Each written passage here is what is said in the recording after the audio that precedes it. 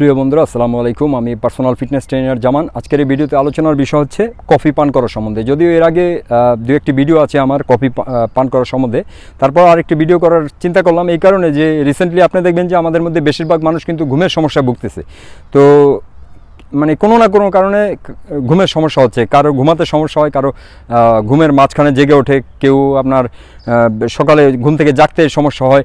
তো এই ঘুমের সমস্যা আর মানে পেছনের যে কারণ কি, সেই কারণগুলো তো বিভিন্ন ধরনের কারণ থাকতে পারে। যেমন আপনার নিউট্রিশনাল ডিফিসিয়েন্সি থাকতে পুষ্টির অভাব অথবা প্রচুর স্ট্রেস স্ট্রেসের পরিমাণ খুব বেশি বা ওভার ট্রেনিং করা বা যে কোনো কারণ হতে পারে ইমোশনাল স্ট্রেস তো ওই কারণগুলো খুঁজে বের করে ওগুলো ঠিক না করার পরিবর্তে আমরা কি করি শর্টকাট করে ওই যে সকালবেলা যেহেতু আমাদের কাজে যেতে হয়, কাজ নিয়ে তো আর কোনো কম্প্রোমাইজ নেই।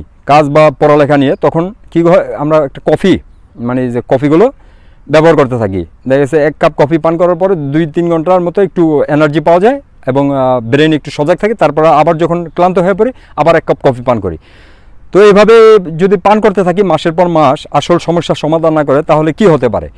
হতে পারে, একে তো যে কফিটা আমরা নর্মালি পান করি, সেটা তো হচ্ছে আপনার অর্গানিক কফি না, আর সবচেয়ে বাজে কফি যেগুলো হচ্ছে প্রসেসড কফি, যেগুলো আপনার মানে ভালো কিছু নাই, ওগুলোর মধ্যে ভালোর কোনো কিছু নাই, শুধু খারাপই।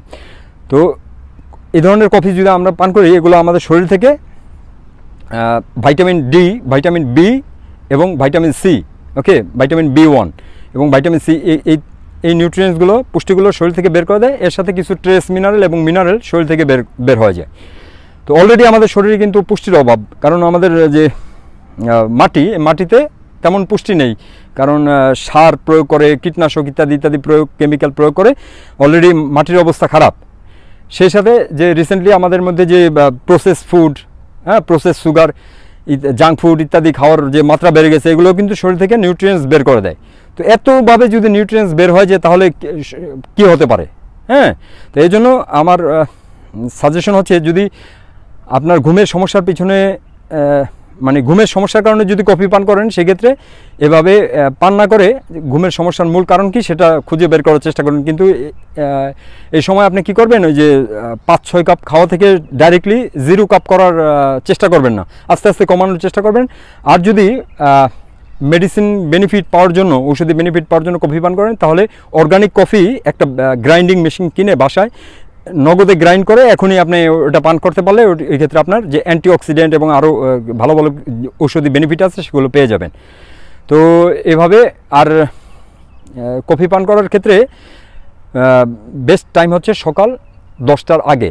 এর কারণ হচ্ছে কি কফির যে, টোটা মানে কফির মধ্যে যে ক্যাফেন আছে, এই ক্যাফেনটা শরীর লিভারটা ডিটক্স করতে মানে হান্ড্রেড পার্সেন্ট ডিটক্স করতে বারো ঘণ্টা সময় লাগে।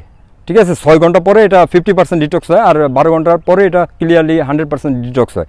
এটা যদি লিভারের মধ্যে থাকে, সেই অবস্থা আপনি ঘুমাতে যান, ঘুমটা কিন্তু আপনার ডিপ ঘুম হবে না।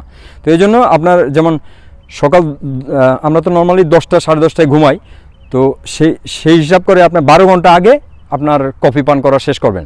তাহলে কি হবে যে এটা আপনার ঘুমের সাথে কোনো ইন্টারফেয়ার করবে না। ওকে সো যদি ঘুমের সমস্যার কারণে কফি পান করে থাকেন তাহলে ওই সমস্যা খুঁজে বের করুন, বের করে ওগুলো সলভ করার চেষ্টা করুন। আর যদি ঔষধি বেনিফিট পেতে কফি পান করেন, তাহলে অর্গানিক কফি অর্গানিক কফি আপনার কফির বীজ, আপনার চূর্ণ করা কফি কিনবেন না। কফির বীজটা কিনে অর্গানিক সেটা বাসায় গ্রাইন্ডিং মেশিন দিয়ে, কারণ আপনার চূর্ণ করার পরে যে অক্সিজেনের সংস্পর্শে এলে ওটাতে ওটা অক্সিডাইজ হয়ে যায়, সেটা আবার সমস্যা। এই জন্য আপনার নগদে আপনি গুঁড়ো করে সাথে সাথে আপনি ওটা ইয়ে করবেন। কফি বানিয়ে তারপর পান করবেন।